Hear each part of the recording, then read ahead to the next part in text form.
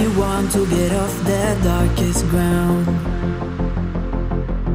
But gravity pulls you straight down. Earth from a bird's eye view.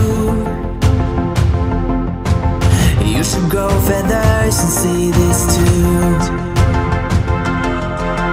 When you want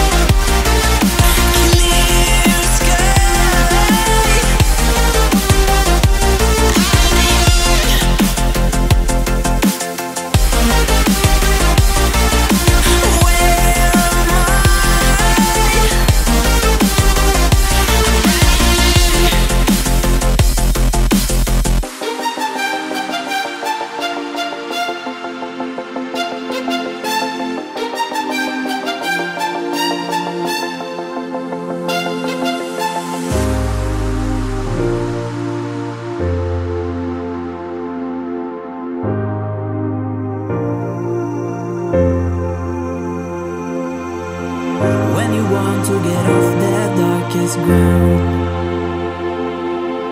But gravity pulls you straight.